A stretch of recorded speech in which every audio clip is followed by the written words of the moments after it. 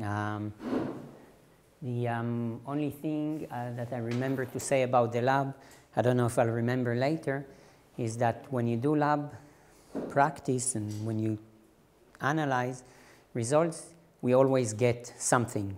We always get numbers. Yeah, it's, uh, I don't know, from a machine, from interpreting them and looking that they're um, reliable is, um, is another thing that we haven't uh, done here, but it's something to remember, okay? Because you always get something out of these uh, um, experiments and just to see that it's reliable. So, um, solid.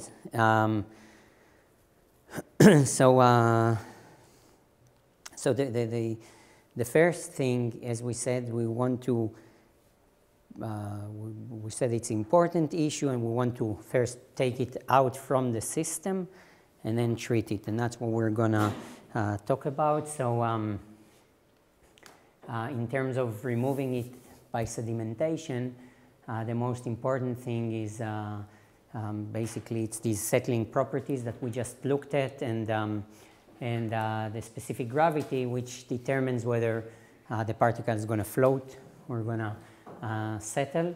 And we'll say a few words about that shortly. Um, the particle size distribution, whether it's a large diameter or a smaller diameter. And um, just by experience, we already know um, done by several groups that uh, uh, many, I mean, it depends what you, how, how you operate your system, but uh, after removing the uh, very uh, small, uh, I mean, the, the, the, fraction of easily settling, settleable solids, which is above 100 micrometer, the, the rest, the majority of the rest um, is less than 30 micrometer, which is harder to remove and it would take some drum filtration, some sort of mechanical filtration, okay? So um, if you want to remove this smaller fraction, then, then it more uh, needs to be done than just settlement um, or sedimentation, but not necessarily, not always one have to take it out. It really depends on the, um, on the, on the situation.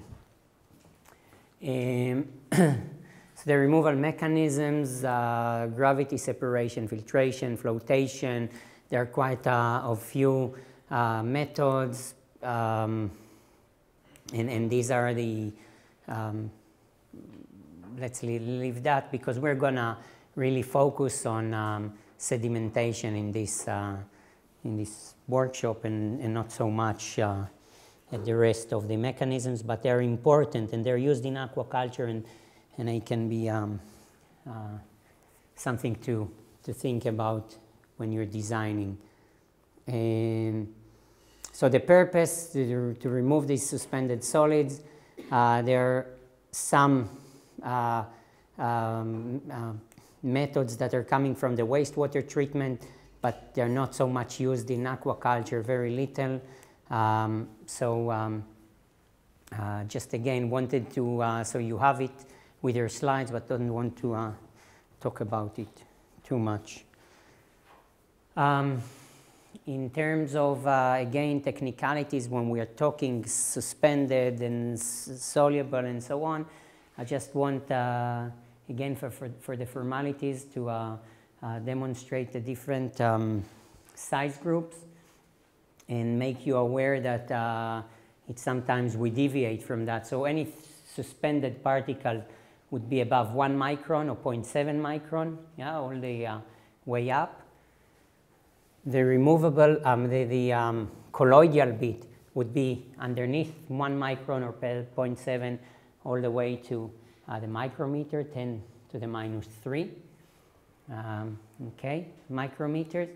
And then uh, the dissolved will be the nano uh, bit, which is um, uh, consider dissolved, the 10 to the minus 9. Now, uh, we consider the colloidal bit also as dissolved, okay? Um, that's what we filtered for. So just be aware that different people um, uh, divide the, uh, the, the, the, particles, the solids, a bit differently than what we just did. um, In terms of uh, remove, removing, um, removal methods, again, this is a neat graph coming from Ebeling uh, on Russ' book. And, um, but basically what uh, it says, this is the uh, particle size in micrometers. It can tell you that anything that above micrometer usually would sediment quite well, sometimes to about uh, 80 micrometers and sometimes even more, but I mean, generally 100 micrometer is a, is a good uh, uh, size for, for settling, okay? Below that, it's uh, micro screens like these, I mean, these drum filters or granular filters that goes usually all the way to about 30 micrometers. Some would uh, get to uh, even better, 15 micrometer. You see granular filters. And then uh, what we consider the more dissolved foam uh, uh, fraction, uh, you'd need foam fractionation, and you can remove proteins and very small particles by flotation or other mechanism like um, desalination um, membranes, like microfilters, um, nanofilters. Yeah, um, so, so that's the thing. So sedimentation is the larger particles, and as I said, it's the easiest way to go. And then granular filter would do a good job, and then foam fractionation. So these three are often used in aquaculture, in intensive aquaculture. This and granular filter, or media filter in general, and then plain sedimentation. Okay, but we today are going to talk only about sedimentation. So um, sedimentation or settling, there are about four uh, mechanisms. Um, you know, the discrete, where particles doesn't change its properties and, and not disturbing one another. Flocculation, when you add usually uh, coagulants, or sometimes it uh, naturally happens where particle attached to another particle and create a larger uh, sweep floc, a larger particle, and then it settles, or layered, or when it's compressed. You see it in the, uh, now when we have, um, when, when we uh, doing this uh, settling test, you see that it starts and then it compressed over time. And um, um okay. Now, when we are looking at um, settling, then uh,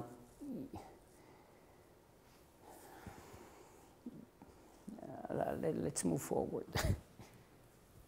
when we're looking at settling, at sedimentation, and that's uh, uh, important, and I don't want to go over these equations. Uh, um, it's not that important, and I'll try to be uh, quick, specifically at this time of the day, but uh, really a particle will settle um, only if, uh, you know, it's a balance of forces. So if the gravity force or the settling force is larger than the other forces that uh, it uh, produces. So this, there is a gravity, there is a drag force, and there is a buoyancy, okay, that pushes, him, pushes it up.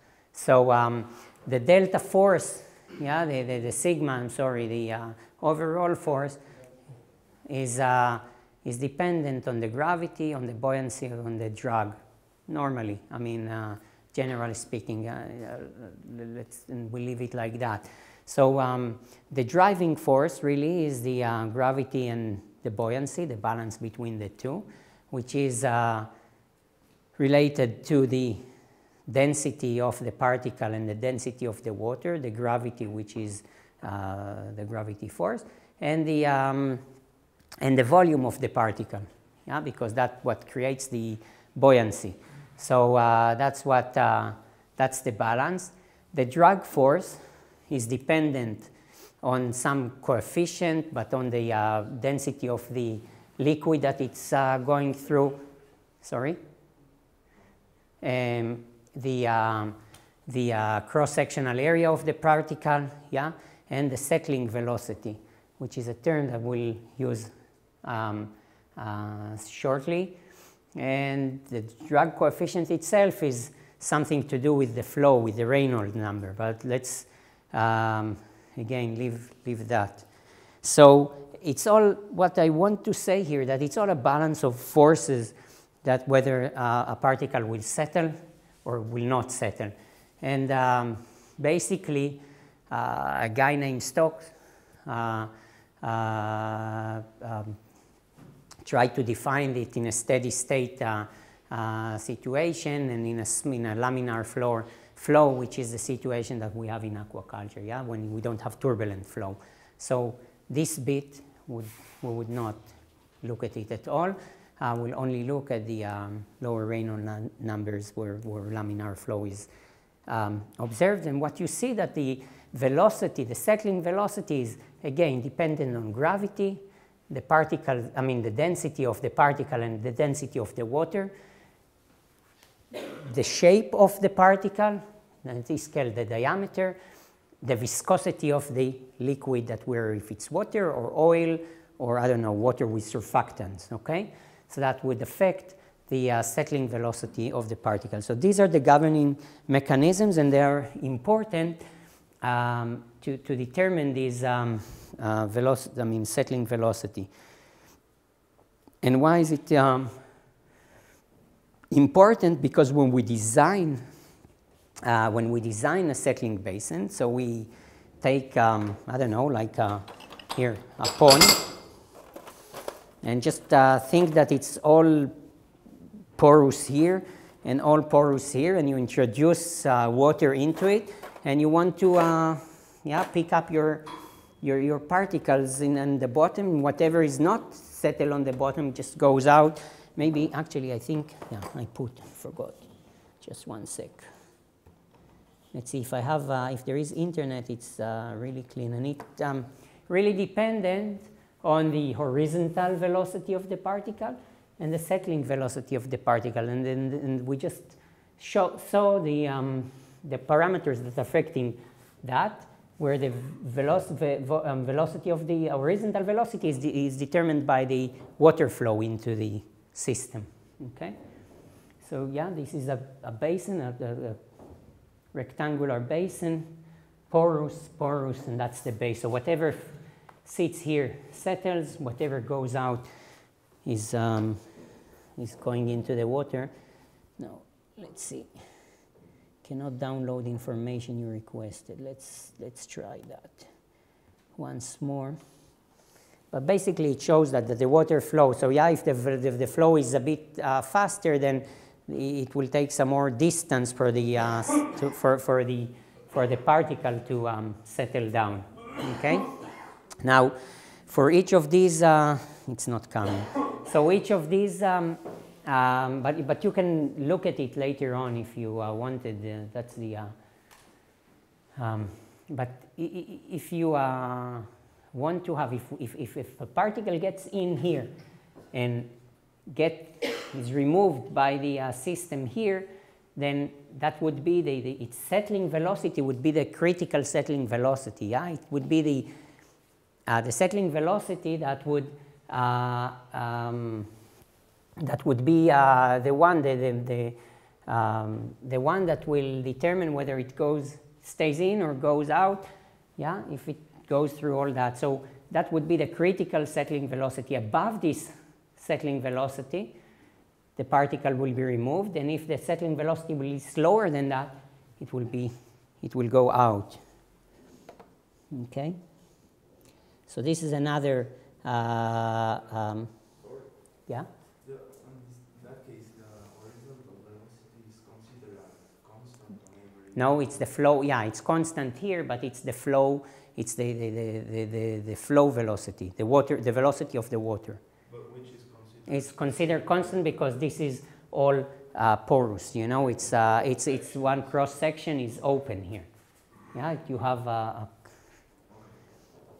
fully flow and everything is coming out at, this, at the height. Yeah.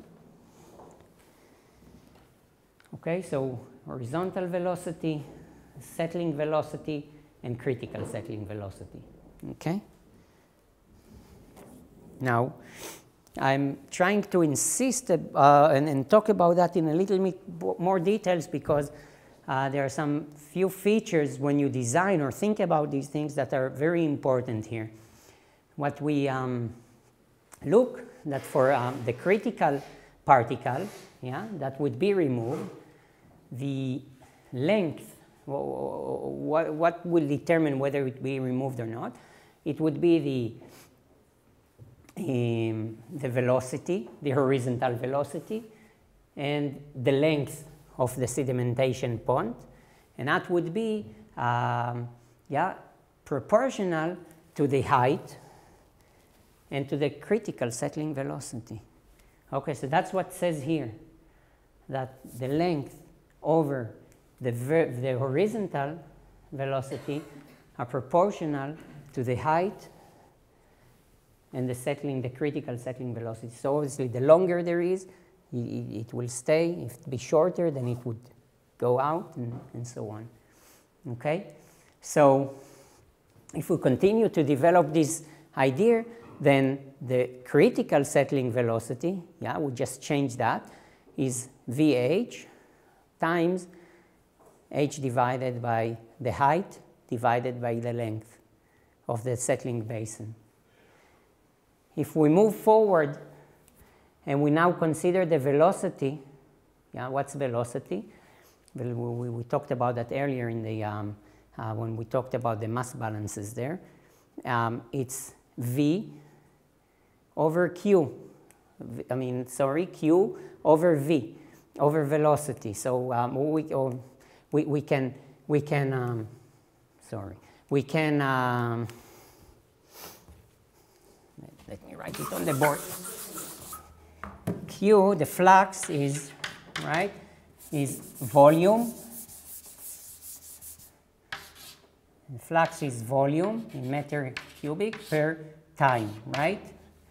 Now, the, um, so we have the V here, and the, um, and the, uh, um, and the velocity is, uh, uh, by uh, the, the um, here, the cross-sectional area, which is the width times the length. It's the width times the, uh, I'm sorry, times the length, yeah, the cross-sectional area of the basin. So if we divide the Q times the cross, I mean, over the cross-sectional, uh, the cross-sectional area, yeah, B times H, B times, um, sorry, B times height, yeah, cross-sectional area of this, uh, of this wall, yeah, we get uh, the, uh, again, critical settling velocity. So we can change the, velocity, the horizontal velocity to the flux over the cross-section area, okay? And now when we do that, what we see is that if we, uh, the h, the heights are eliminated, it's a bit hard to see like that, but uh, uh, the, the heights are eliminated, and you end up that the critical settling velocity is equal to the flux that gets in and the cross-sectional area, B and length, yeah, the, the, the, the, the, the area of the basin. So, so really, it's the flux over an area. And why it's important? Because the height of the settling basin is not important. And that's the point I wanted to make. So sedimentation is, is dependent on the, the flux and the uh, area of your basin, which is called also hydraulic load, okay? But not the height of the basin. So basically, it can be fairly shallow. And it's intuitively, it's, it's, it's very hard to grasp. Okay? Now, if the velocity is um, of the, the particle yeah, is greater than this hydraulic load, then it will be fully removed because it will settle quickly, then it goes out. If the velocity is smaller, the, the settling velocity is smaller, then this hydraulic load, it's only partially removed because some will go out from this system. Okay, and that's, that's the, um, important bit to remember from all these um, um, slides.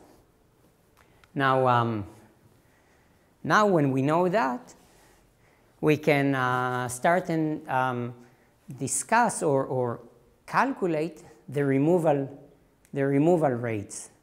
How much will be removed? So obviously, a particle that starts here will be removed a bit differently than a particle that starts here because it has longer, I mean, different distances to, uh, and heights to, to pass. So um, it's the, um, if, if we are looking at the ratio, yeah, or the, the height that the particle starts as a, as a ratio from the overall height, yeah, it really equals to the, um, to the, to the uh, settling velocity over the, um, of the hydraulic load.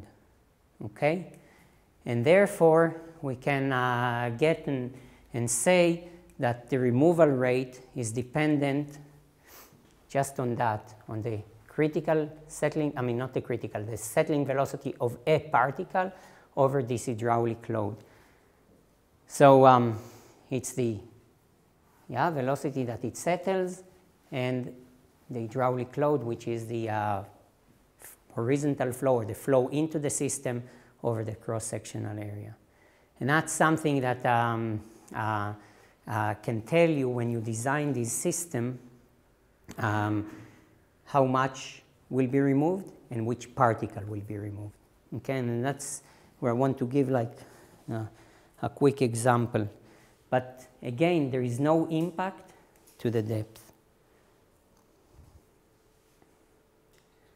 So um, if we want the, um, if we know our total suspended solids, just what we measure, that get into this settling, we can, um, we can calculate how much will be removed. Yeah, so if uh, uh, the TSS concentration, that's CE, the concentration of TSS at the, efflu at the effluent, what's coming out, equals to whatever gets in times uh, the fraction that is removed. I mean, sorry, that is uh, um, not removed. Yeah, 1 minus whatever removed comes out.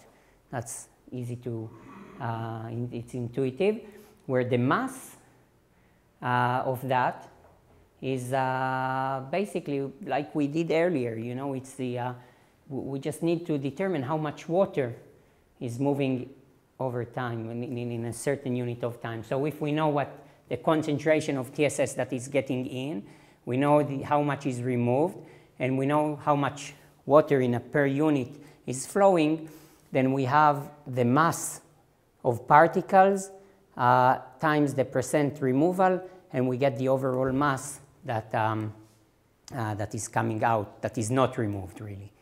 Okay? And then we can again figure out what will be removed and what not. So let's um, try to simplify it with um, an example. So um, let's say that uh, water contains four sand fractions. You know, we just took the sludge and it has, we, we sieved it through different um, sieves and we know what's the uh, size fraction. So um, um, some uh, have, no, the, the, the, yeah, it have four size, I mean, four fraction of particle size. The first fraction is uh, settles and we can calculate that again, we can measure it, uh, settles at uh, 10 to the minus 1 centimeter per second, the second fraction at 5 to the 10 times 10 to the minus 2 uh, centimeter per second. That's how fast it goes down. And, uh, and this is the relative uh, proportion. So we have 10% of this fraction and 20% of this fraction and 50 of this and then 20 of that. So it's overall 100. Yeah, and um, and we would like to remove 100% of fraction number 2. And the question that we ask is, how, and, and we also know how much water we need to introduce into this uh, system. The question we ask is, what would be, uh, how to design this, um, this, settling, um, this settling basin. I remind you that the removal rate yeah, equals to the settling velocity, here we have it, over the Q, here we have it, um, yeah, And we're asking what should be the size, the section, the area of this basin. Yeah? That's all we're asking here. And um, so the area equals to the flux times the removal rate over the uh, velocity, the settling velocity. This is just uh, changing, rearranging this equation here. And if you are asking, so again, Q is 10,000 square cubic meter per day. That's just conversion to, to convert it to hours and seconds because here it's all about units. It's centimeter per second, yeah? And here we have 10 cubic meter per day, so we move it into seconds.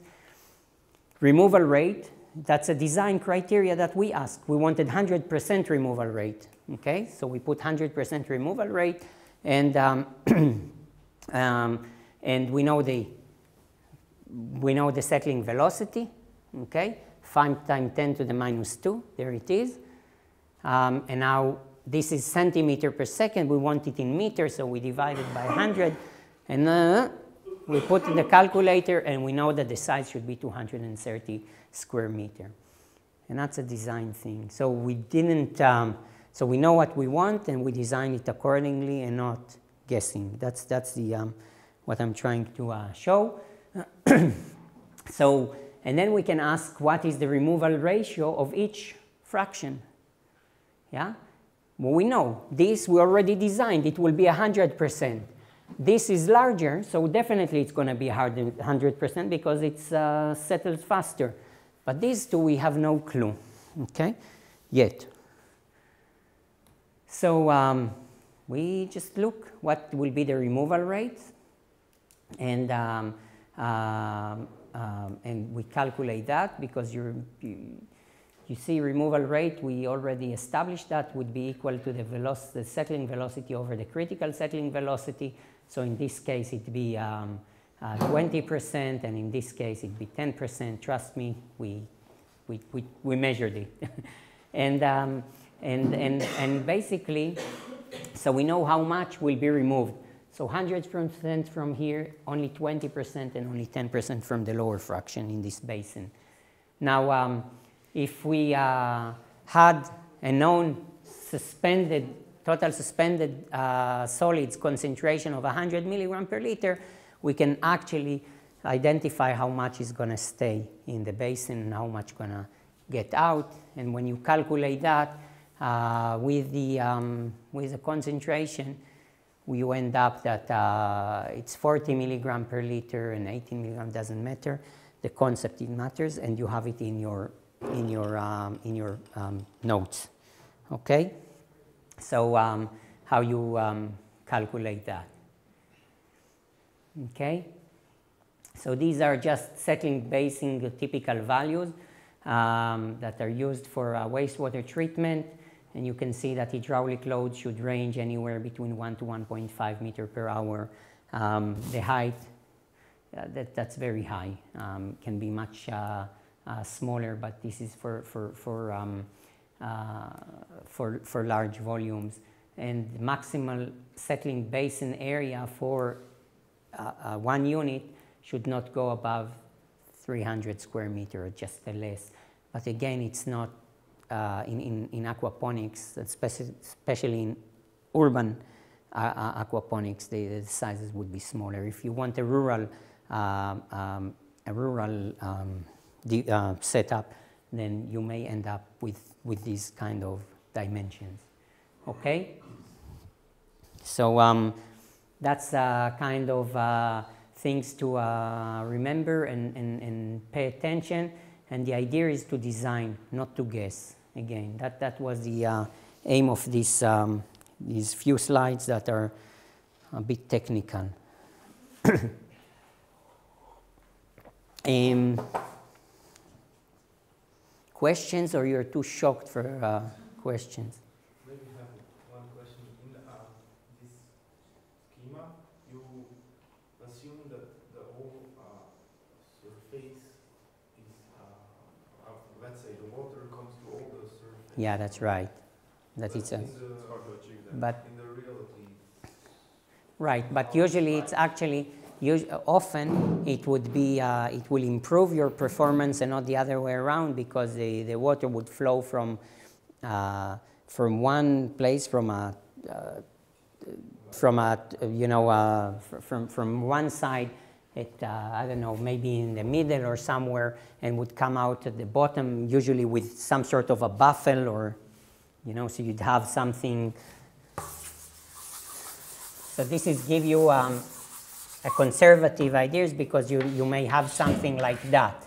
Yeah, the water would flow um, um, and would come out from, from here. Okay, so you'd uh, try, you'd, uh, you'd force your water to do something like that so it have more time and uh, it goes out. So uh, it has more time to, to settle before it goes out. So really if you have um, this way, it's easier for the calculations and stuff, but uh, it gives you a, an idea and not so much the, um, uh, you know, it gives you a, a, a, an order of magnitude of your sizing.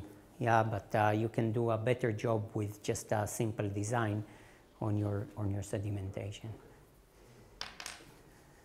Are they often used in our systems because of the size, uh, these The- normal rectangular basins?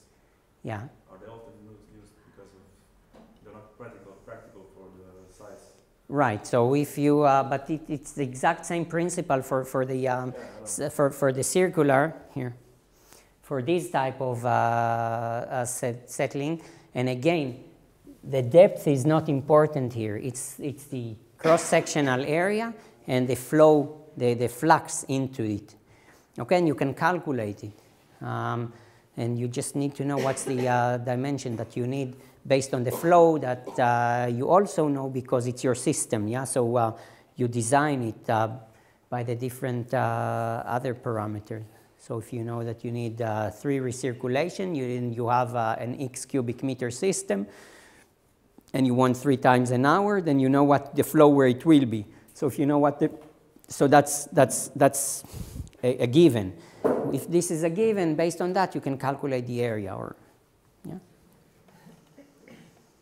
So, um, so the uh, types of uh, eh, the biofilter size will be based on the number of fish, basically. Number of fish meaning number of feed means amount of feed means amount of solids, yeah? Kind of biofilter, but we talked about the sedimentation. Uh, biomass of fish, that's number of fish and biomass of fish is basically, well, it's not the same, but uh, um, it's really the biomass which is important uh, because that's the amount of feed and the total volume of water in this uh, system and the flow rate, but it's usually something we can determine. The, the, the various typical um, uh, systems uh, or, or, sedimentation tanks that uh, are there are these round settlers, okay, and it's called, um, um, uh, I can't remember whose design it is. Um, it's, it's, it's, an American design. Yeah? Swirl separators are usually the ones that are used uh, to, uh, you, you have vortex in the, uh, you add vortex in the system, so you get the, centrif the centrifugal force to uh, help you uh, uh, further increase the settling velocity of your particles. And the way we do it is just by um, cutting the, uh, in the pipes, the water flowing instead of from a straight cross-sectional, from, from a twisted, from like that. Instead of from like that, there, you, you cut it like that. So uh, then you have a flow that uh, create circulation in these systems and you can get the vortex going. Yeah, then, um, then we have these drum separators, which is not anymore settling, okay, but that's for the more uh, fine particles. And um, yeah, they're costly, but they're good for um, smaller particle sizes often.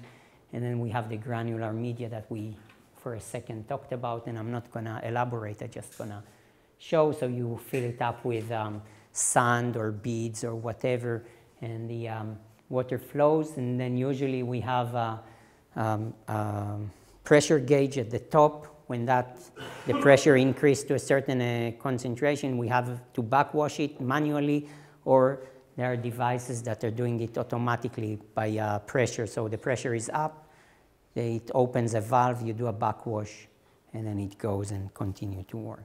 Okay? So that's about the solid. So initially, we removed it from the system. Now we have solids. But now what we do with it? The, the, the, the thing is that these, um, that these solids have uh, a lot of, uh, uh, a, a, a, lot of um, value. 50% of the nutrients is out there, about, nitrogen, and if you want aquaponic, you know, uh, nitrogen and phosphorus are, are very important. So um, it's, it's in these solids. Normally it's being wasted. If you can recover these nitrogen and, and, and, uh, and phosphorus, it'd be uh, really good because you can extend by four times, I think, or so, three times your, your, the size of your, your, your um, plant material. Yeah? And, um, and also, when you dispose it, you usually have to pay someone. Yeah, if you dispose it, you pay to the wastewater treatment plant or you um, contaminate the environment. It depends when you are, where you are. Um, but that's what happens. So uh, you treat that. And if you can get energy out of that because you can produce biogas, for example, from this thing, then it's even better. But there are other means to uh, produce energy from, from uh, solid waste. Okay, not, not necessarily biogas. Um, and also, it's a carbon source, yeah? So it can be a carbon source for denitrification, like we added sugar today, or it can be a carbon source for uh, this anaerobic digestion and you convert it to methane. Okay, so um, that's where the solid is so important that it's, it's wasteful to uh, waste it. So you want to keep it and do something with it. And um, what we are gonna do now is talk about its digestion. Uh, the aerobic digestion, I'll just say a couple of words, but uh, mainly we'll, we'll, focus today on, on anaerobic digestion. So aerobic digestion is really uh, bacteria that decompose organic matter. Um, and uh, basically you can measure it, and I uh, on purpose use these um, terms because I, I, guess some of you at least are familiar with it is the biochemical oxygen demand or OUR is mean oxygen utili utilization rate. The amount of oxygen that bacteria are using uh, can be uh, really converted back into the uh, degradation rate because what they do is they take organic matter yeah, and convert it into with oxygen into CO2 okay, and water. But let's uh, make the, the, final thing is CO2. So if you measure the amount of oxygen that was consumed, you can go back and uh, it's an indication to the amount of carbon that converted from the organic matter into carbon. Okay, so there is, uh, you can measure it as, uh, as um, either, you know, oxygen demand or organic carbon or there are various ways. But oxygen demand is one way to determine the amount of organic matter that you have in your stuff and how much is degraded, yeah, the oxygen utilization. And when organic matter is degraded aerobically, what you need to remember that ultimately it gets to CO2, but there is on the way, as we said, bacteria is not working for free. There is a lot of sludge produced in the, in the uh, way. And then we have to, to, to, to take care of this sludge. That's why we often do not use aerobic. And also it costs a lot of money because we need to supply oxygen. So that's why we often do not use aerobic digestion onto uh, this type of sludge, specifically when it's very, when, when it's pretty concentrated. You, you want to do it anaerobically. It makes more sense economically and Okay, so um, that's aerobic degradation. And this is just an example for that. And with that, I'll stop with aerobic degradation. So if we had um, uh, glucose in this case, yeah, and we added oxygen, the bacteria will convert it to CO2 and water. That's the final thing. And if we measure how much oxygen was consumed, we can go back and understand how much carbon or organic matter we had there. So that's why it's an indication. Okay, so that's the um, That's the uh, idea, and we can again quantify it and say that's for glucose. If you balance this equation anyway, you would need um, um, so and so grams uh, of oxygen per one per, per, per, uh, so and so amount of organic matter. Okay, so again, it can be quantified, and you, you can know how much oxygen you, you would need here. That's calculated. So we need 0.3 grams of oxygen uh, to, uh, to uh, remove a, a, glucose molecule. Yeah, sorry, uh, 320 milligram of oxygen to, to treat one mole of glucose. But that's not one gram of glucose. I said one mole, sorry. Um, and um, I, think, I think I'll stop there. That would be enough for aerobic degradation. Now, um, for uh, anaerobic degradation, we'll spend a little bit more time on, on that. And uh, um, so historically, you see it's used for animal and, and domestic uh, wastewater really be, before, I mean, 10 years ago, it, it started to, uh, to, to, um, to rise in aquaculture. But it's like dozens of years in, in wastewater treatment. And as we said, the reason, or part of this reason, because aquaculturists were not engineers in that regard. They, they, were growing things in ponds, and it's a new field. It started only in the 70s. Um, and also because uh, um, the, the, sludge quality is not, is not good enough. It's uh, usually the C2N ratio is very high, which is not typical to anaerobic uh, degradation that we were familiar with, the, with in, in the world of wastewater treatment. Uh, what happens is basically your organic matter is converted into CH4 and CO2. This is typically the ratio. Often it's uh, 50 and I think it's in the glucose, we just saw it, it's 50 and 50. Uh, you cannot, it's uh, aerobic, but um, usually it's anywhere between 50% um, to 70, I mean, 50% methane to 70% methane, that's what you would get theoretically in all these reactions. And uh, basically, you take, uh, during the digestion, you take organic matter, you convert it to uh, bacteria, yeah, some growth, and they don't work for free, um, some resistant organic matter, CO2, methane, which is the energy, and then ammonia and sulfides and some heat, okay? When we're looking at the, um, the, uh, what happens there in this anaerobic degradation, they're usually considered, although the bacteria didn't read the book, we usually um, uh, define it as four different stages uh, that are done by four different groups of bacteria. Okay? So first, there is a degradation of the complex organic matter into a simpler organic matter, like monomers and stuff like that. And then, so that's the hydrolysis. And then you have the acidogenesis, uh, which convert the uh, simpler organic matter into volatile fatty acids uh, acetone or, or, different acids like acetone, butanol, you know, a, a bunch of those.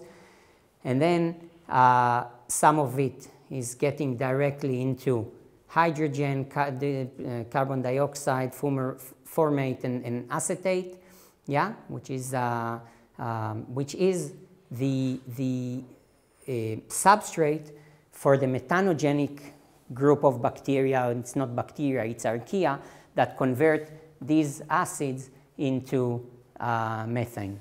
So different, four different steps, okay? And uh, as we said, different uh, bacteria, usually different, uh, um, different groups of bacteria, and sometimes different conditions. That's why uh, anaerobic digestion is a bit more tricky. Mm, it's harder to, to uh, adjust, to, to create some balanced digestion is not uh, is not simple and it sometimes can take weeks or months uh, before it goes really well and specifically with uh, fish sludge. So um, um, uh, eh, So what I wanted to say here that often we divide this anaerobic digestion into two stages. So we have one uh, reactor for these first two um, stages, the hydrolysis and acido acidogenesis, and um, we do it in one reactor, yeah, and that's different one conditions, and then we transfer the water into a second reactor and do the uh, methanogenesis um, altogether. Um, not always, but that's something, uh, a direction that is now um, uh, being promoted as well. Now the last bit, you see the methane can get either by group of archaea that can convert hydrogen into methane, so they'll be called uh, uh, hydrogenotrophic methanogens. And if it's uh, acetates, then it will be called acetoclastic methanogens. And, you know, and the methyl, uh, the, the methylotrophic methanogens. So they'll convert methyl group into, meth into methane. So there are different group of archaea and different pathways over there. So it's also a bit tricky and something to understand which group of bacteria you want and more adapted, and again, specifically for this fish aquaculture um, sludge. And how it's not easy to control, but you can direct the uh, digestion towards that in order to, in order to um, uh, make it more efficient. So um, the treatment efficiency, what's the main parameters that affecting the anaerobic digestion? is the temperature, where we have these three ranges of temperatures, thermophilic, high temperatures, uh, mesophilic and psychrophilic, which is the environmental or colder, colder, cooler temperatures. We'll look at it in a second in a, in a figure. We have the reactor design, one or two phase digestion, batch or continuous, whether we load it and let it go and then uh, remove the, the, uh, a batch and introduce another batch, or it's a continuous flow. Retention time, so we talked about that in the morning, the hydraulic retention time, the water uh, flow, but also the solid retention time, because solids, solids are composed now of the organic matter that we introduce, and from the bacteria, which are the um, also solids, basically. These are bacterial granules. So what is the uh, solid retention time in this, and we already saw or discussed a little bit the solid retention time in the, uh, of uh, how the solid retention time, how the age of the sludge affect its settlability. You remember that we said that if it's an old sludge, then it settles at a different SVI than whether it's a young sludge or, or whether it's a, a, a good operating sludge. So that's another uh, design parameters to consider. And then other things like uh, yeah, the retention time, we talked the, the, the, moisture content, the how much free ammonia or sulfides we have there, availability of nutrients, and what type of microorganisms we have there, okay? So um, typically, balanced digestion would be um, would be uh, uh, when acetic acid, you remember the substrate for this uh, uh methane would be less than 100 or around 100 milligram per liter. Otherwise, if we have too much, it's, it's acid and the pH would drop and the methanogenesis would stop uh, altogether. Fatty acids less than 50 and uh, low hydrogen partial pressure because again, hydrogen um, uh, and hydrogen sulfides can create redox, uh, uh, can create conditions that are uh, not very, um, um, create acidity and they're not good for these methanogens too. They, they have a, a, negative feedback. So that's when it's balanced. Imbalanced digestion, you'd have high hydrogen concentration, you'd have uh, volatile fatty acids like propionate and butyrate, um, and it you see it says pickled or sour waste, and long time uh, uh, to repopulate and get to a healthy environment. So once this digester stop working, it's a pain in the neck to put it back to work, often.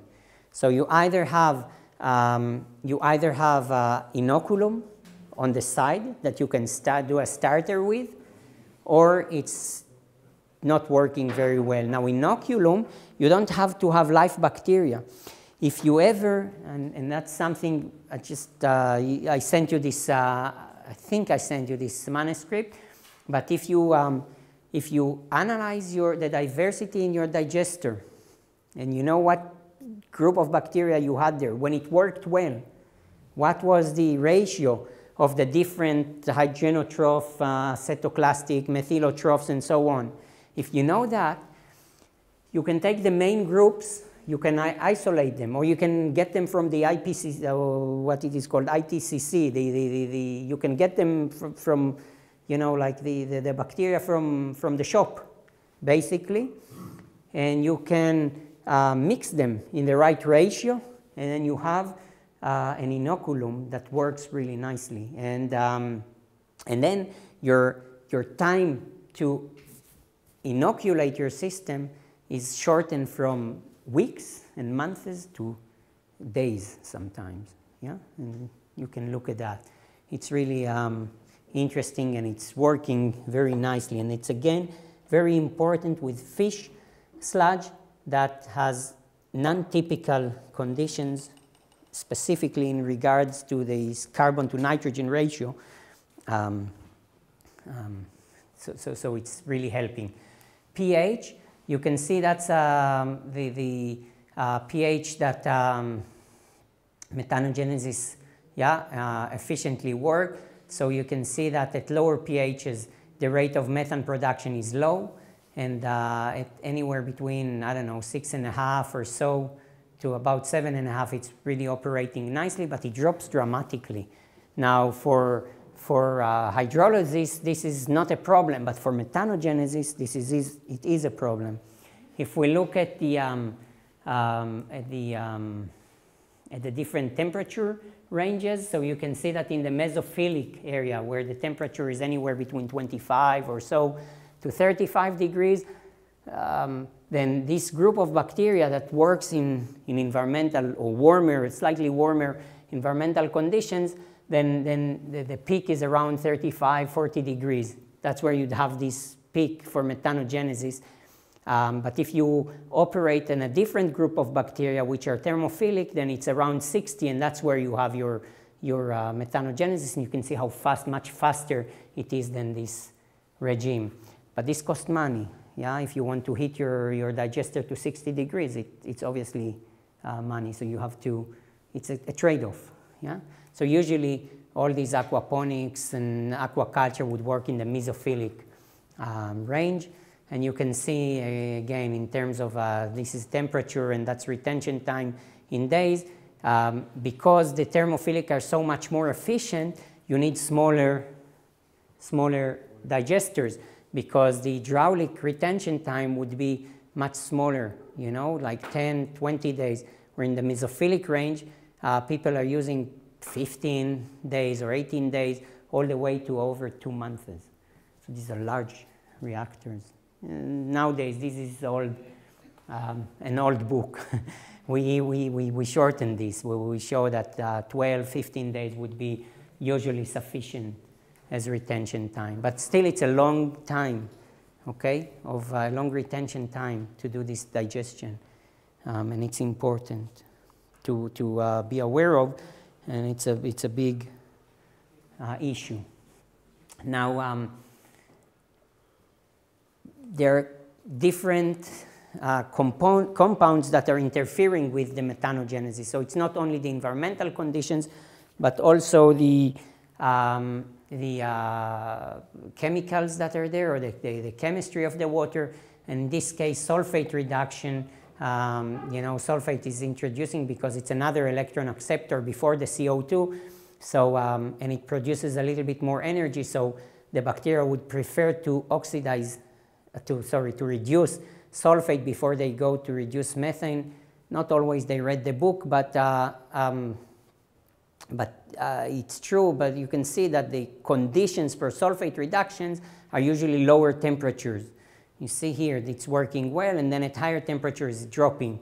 Same thing we see here, temperature and, and sulfate reduction growth rate, and it's maximal at around 10, 15 degrees, and it goes down to the 20s. So uh, it's true for the book.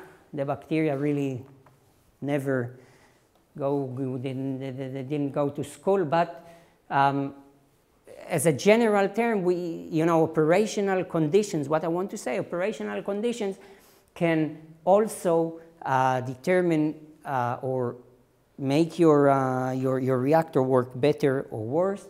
And um, I think Uri mentioned that in, when, when you all were there, that um, um, uh, the, the, the, usually the, um, the, the, bacteria would prefer the, the process that gains them the most uh, energy. So if you have oxygen, they'll, they'll produce high, um, yeah, the, the, energy that uh, they'll get from it is higher, with nitrate lower, and with uh, NO2 or manganese oxide in this case lower, sulfate lower, and methanogenesis is really the lowest in the chain. So you really need very low redox potential and um, um, everything should be reduced in your, in your, um, in, in, your, in your digestion. Um, nitrogen also affecting the digestion, we talked about that, and mainly the carbon to nitrogen ratio, which is typically uh, for 20 to 30 when it's optimal. As we said, fish is around 6, 8, 9, I don't know, it depends what you have there, but it's low and it's um, and that's why anaerobic digestion of fish sludge it's is slower and unless you have an adapted uh, community and this adapted community is something that we can prepare for. In terms of, um, this is the, the, the, the, slide that we already saw. But now it's, uh, I added the, the, the, how it goes from organic matter, lesser, less complex organic matter, you know, to acetate. You remember all these stages, and then methanogens. So uh, now I just put some, uh, well, it's not me, but uh, it's, all, it's uh, added with the uh, percent of, of the, the, you know, a bit more quantitative. So you see that uh, um, the, the, the, diversity or the, the, the um, how they develop. So this acetate, the pathway for acetate in the methanogenesis is much greater than the pathway of the uh, hydrogenotrophic in uh, wastewater treatment. In, in, uh, in fish, aquaculture, I mean, in fish it's a bit different, but it, it's not done yet, but we can start doing it. Well, I guess that's one of these things that we're currently doing. So what is the, the, the major pathway uh, in, the, in, in the anaerobic digestion? Um, when you, when, which bacteria are more prominent uh, or prevalent when, when you digest uh, fish sludge. Okay, so that's the, um, uh, that's the, the, the, various pathways. Um,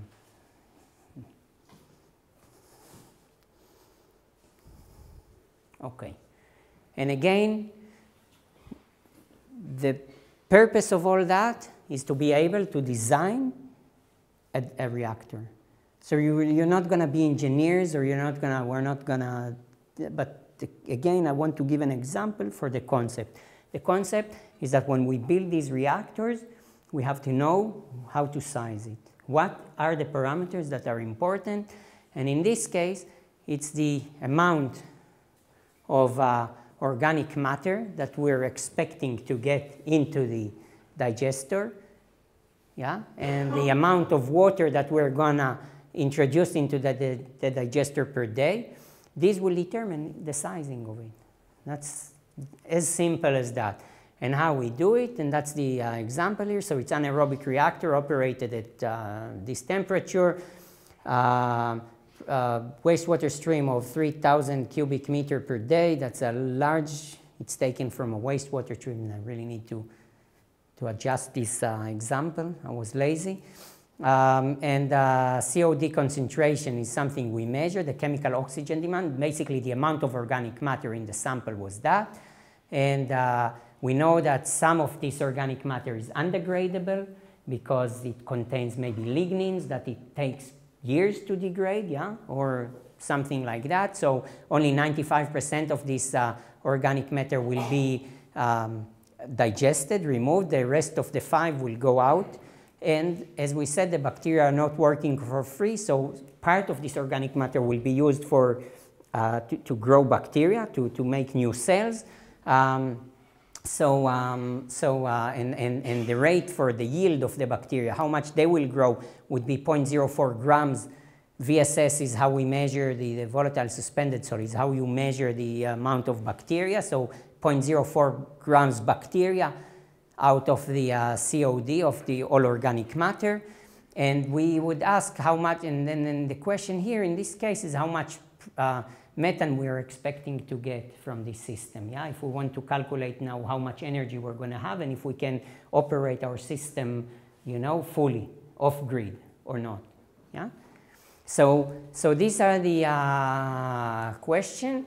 And uh, in this case, we, uh, we assume here a, a, steady state mass balance. That means that uh, whatever gets, you know, that, the system is working um, uh, uh, in, in, a, in a constant mode, basically. Whatever gets, there are no changes in the system. So uh, there, there, are no increase in bio, I mean, there are no um, changes in the, uh, uh, in, the, in the efficiency of the system, let's say. Let's put it this way. And then, the, um, and then we can uh, uh say that uh, anything that is getting in minus all the organic matter that gets in minus the portion that goes out in the effluent minus the portion that is converted to uh, biomass would be the, uh, um, the, the, the, the, bit that will be uh, converted to methane. So this can go here. So the methane concentration or the COD, the organic matter that we converted to methane, equals to what organic matter that gets in minus the, um, the, what goes out and minus what converted to cells. Okay, so in another way, the in equals whatever comes out, the bacteria and the methane conversion. Okay, and uh, we will not go over the um, example that uh, it's here for you, um, uh, but we, we, can really calculate all these, uh, all these uh, bits. I think that's uh, too much for now. Um, but we can, uh, we, we, we can know exactly how much methane or biogas we can get out from these uh, systems, and then we know how much energy we have. And then we know if we, as we said, we can operate these systems. And this is just one example. We'll take a few more minutes and then we'll uh, take a break, okay? So um, this is uh, uh just um, um, one uh, let's take a break. let's take five minutes break and then we continue. Let's stop here for a second.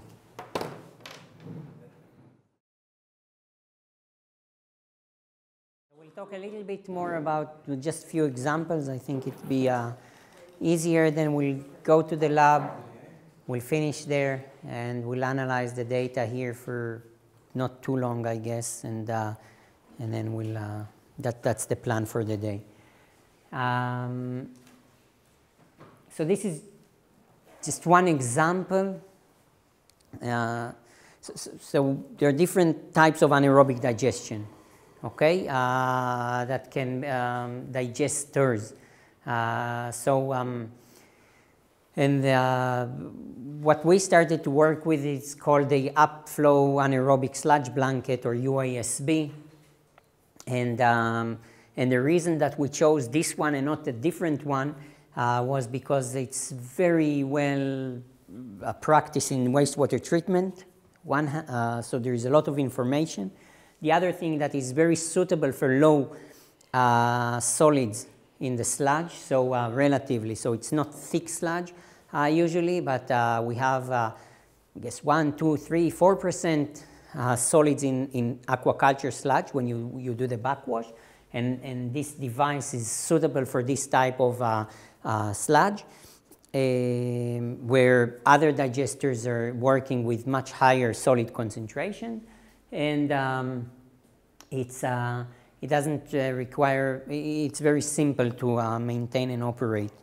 Okay, so that's why we uh, basically used it. What it is, it's basically a vessel, you know, like a pipe with a bottom. It has an influent that where the sludge gets in. Um, it, has, uh, it has an effluent or an outlet at the uh, top. It has a, a, weir or something that holds um, some sort of a funnel that collect the um, gas. And basically, whenever water gets in, the same amount of water goes out, gas is produced and being collected. So how it works, the sludge gets in, creates here a blanket. In a minute I'll show an example of that. You have it on your computers. And then what happens is the anaerobic, it's all anaerobic, yeah? Um, and uh, you have to uh, adjust the dimensions of this thing. If anyone wants technical uh, details, I can give some. Uh, but basically, there is a sludge blanket. Bacteria operates, produce CH4, and then these bubbles wants to come up. So uh, um, microbial granules are being formed, and with the gas, they start floating out. As they float out, they do the mixing, and they, then they hit the, the walls and the cap here, and then the bubble is released. The gas, the biogas is collected and can use for energy, and then the granule settles down. Okay, so it goes up and down, up and down, and that's how it works. And the effluent, you know, the, the, the, the effluent is pretty clear from, from the, um, from the um, sludge. That's how it will look when it's uh, operating. So you have the blanket, you have, uh, you introduce the, uh, from the uh, side, you introduce the, the, the, the sludge, and, uh, and the granules go up and down, and the gas is collected in these, um, you know, the, the, the, funnel is inserted into the water and the gas is being collected and you can measure how much gas is produced. You can operate a generator or whatever.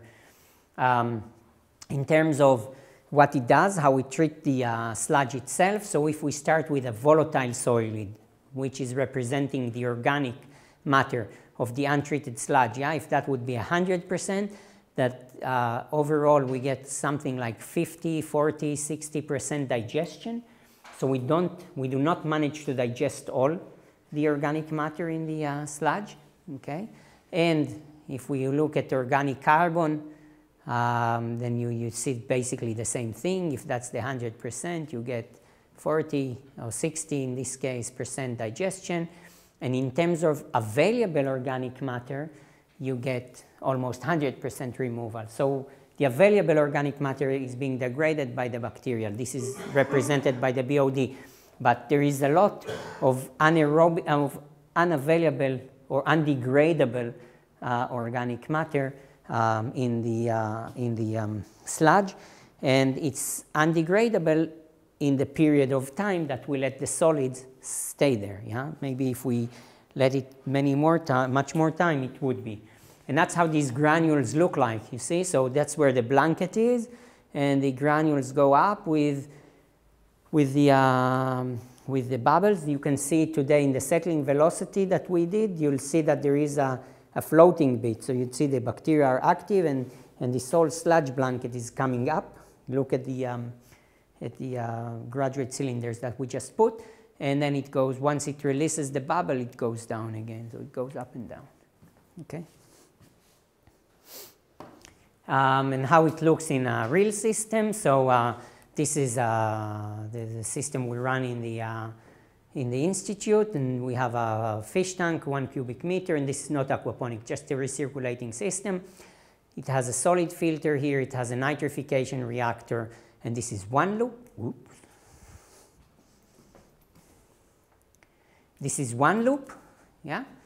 Um, and as we said, we can grow here up to uh, three, 400 kilos of fish. And in terms of uh, normal fish, this we did with catfish, bass, the, you know, sea bream and things like that, we can probably get to about 150, 200 kilos uh, per cube. It's fairly intensive. You can see that the um, feed was uh, given with a feeder, so it was spread over several hours and was not introduced in one, uh, in, in, in, one load. Nitrification was one loop, denitrification was a second loop, and this, in this case, and I sent you the article, uh, in this case it's an activated, anaerobic activated sludge uh, device, doesn't matter, we're not to uh, talk about that, but basically the, the, the solid from the backwash is the carbon source for the denitrification. Today we introduced sugar, yeah, so here we introduce sludge. Now we said bacteria are not working for free, so they produce biomass. In, if you want to have a complete recirculation, then you cannot release this biomass because you release water. So it moved into this UASB, into this anaerobic digester, where everything was, most everything converted to biogas, and the ashes, which was 20% in this case, uh, or something like that, um, um, you have to leave. That's why it's not a fully exchange, but 99.9, I don't know, 99.5 maybe. Um, at these times we operate it. Okay, so that's how this works. So if you have a RAS and now you add another treatment loop, which is these plants, you can have it aquaponics. But the system is working independently. Okay, and that's the approach I think can be there. So you can get the nutrients from the UASB, it's 50% of the nutrients. I don't know if you remember. You can get the uh, nutrients coming from, from the, uh, the other nutrients that are dissolved in the water into your aquaponic bit, okay? But you can get a system that is working independently. So if you have plant problems with diseases as whatever, you just disconnected the two. This working as a hydroponic system, and this work as a recirculating aquaculture system. Normally it's operating together, but when you have a problem, you separate the things, okay? And that's how you can maintain water recirculation, energy, and plants, but recover a big chunk of your nutrients. Because the, at the moment, most aquaponics that I'm familiar with, maybe all, are, are giving up about 50% of the nutrients. So instead of having, well, we'll talk about that in a minute.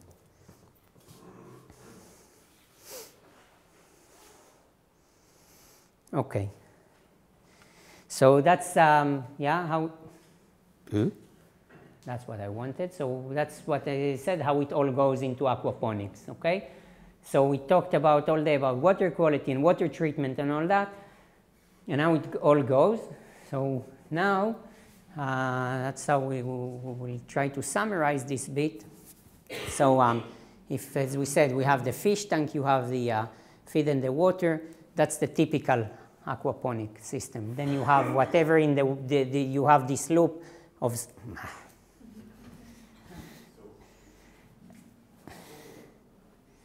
you have this loop of uh, solid filter and, and, biofilter, right? And you have plants. Um, if, if it's leaves, then you take it all. If it's tomatoes, then you have dry biomass. You have to treat it. It costs money. Uh, you have to waste it.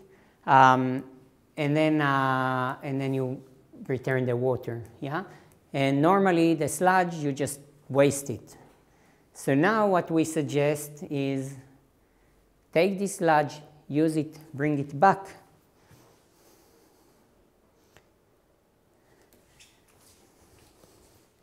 One that, and then I'll go to the, bring this sludge, ah, these are the numbers, in a minute.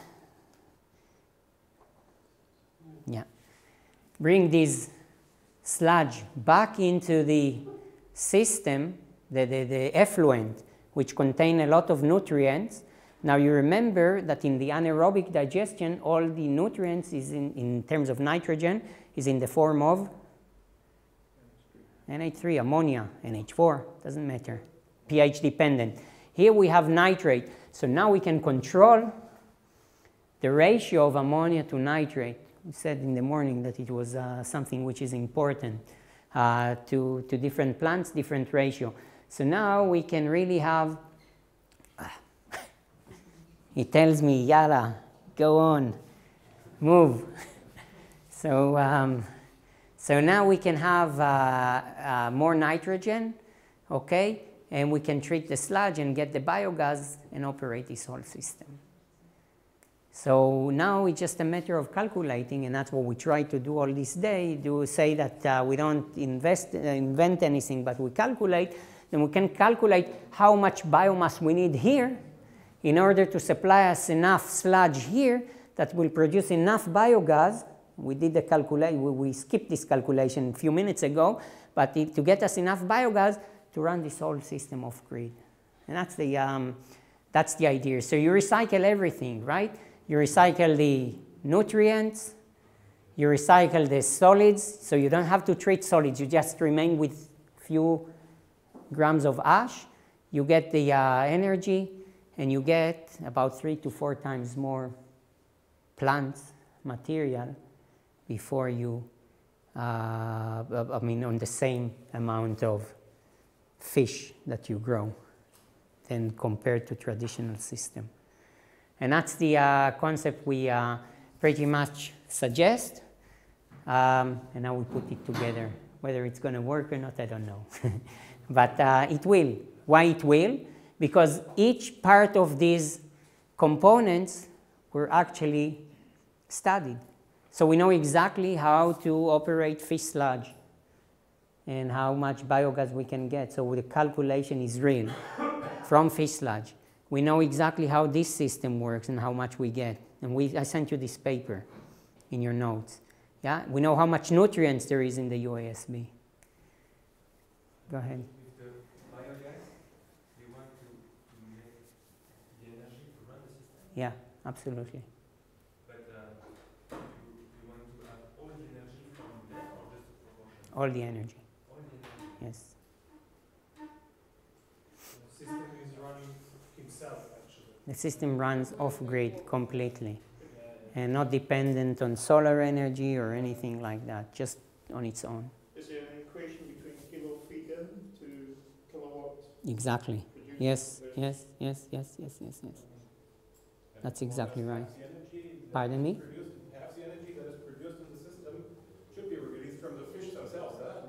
Yeah, yeah, because you remember, yeah, because you remember that they actually absorb only 80%, uh, I'm sorry, only 20% of the carbon. So 80% of what you give is wasted. So obviously you cannot recover all this 80%, but if you can recover 60% of this 80%, 80% of this 80%, then you're good. Then you have energy that normally is wasted, and here it's coming back to your, to your energy. I mean, it's not only the carbon itself, but also the form of carbon and uh, the energy content of the carbon. So the form of carbon is always organic matter because fish excretion is organic matter. energetic state, like the, the amount of energy that's stored in the feed, half of that fish releases as heat production due to the efficiency of some metabolism. Right. So, So- but we know that because I just showed here, and that's in your notes. And I'll get back Mhm. here.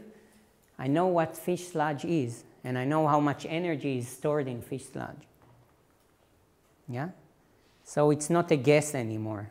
I know how much, if I'm saying one gram of fish sludge, I can tell you one gram of fish sludge will be converted to so and so kilowatt.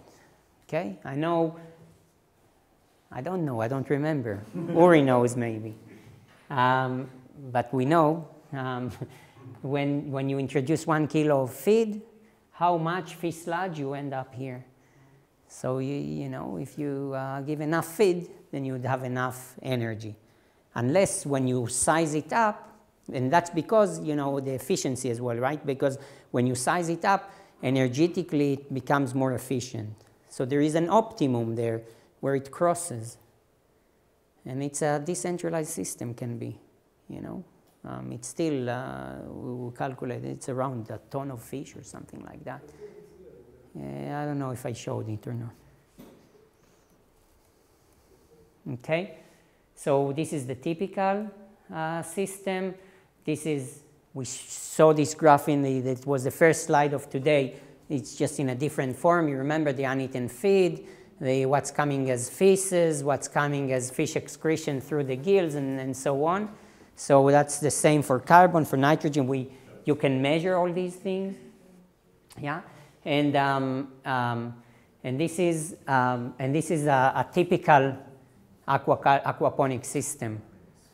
So if you'd grow a thousand kilos of fish, sorry, you'd end up with uh, about anywhere about three, three to 700 square meter of plants, yeah, with a typical FCR of that, and you'd get so-and-so production. If you run it with this UASB thing, you can increase that by threefold, at least theoretically, because you'd have three, you'd have enough nitrogen and, and nutrients out there. And you'd get this energy, as we just said. Okay? Um, and these are just for you again. I will not uh, go, but we were talking about that again and again. What, what the fate of feed in these systems. Okay, so if you have 10, 100% feed, and uh, so 25% would remain in the fish, and you'd end up with only 25. You'd end up with only 25% um, in the plants today.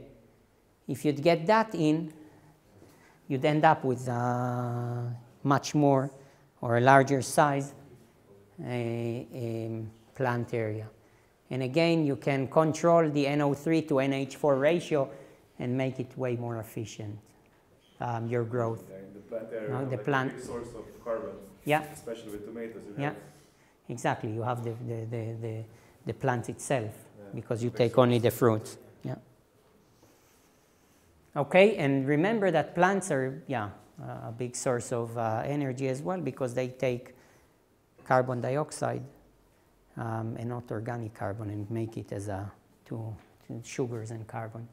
Okay, so this is the calculations of the, the, the sizes. It's not important, I think, um, here.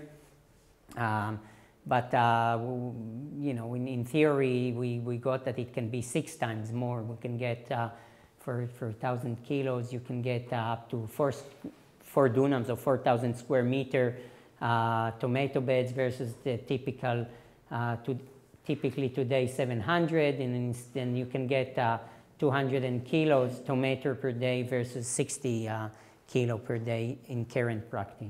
So these are the differences. It's dramatic. And if it can run off grid, then it can be even much nicer. So, um, um, um, if to uh, conclude, in this case, then the integration of this reactor, anaerobic digester, in this case, we suggest UASB, but I mean, it can be anything, I guess. Uh, uh, biogas production can enable off grid. Thank you. but it means that we are there.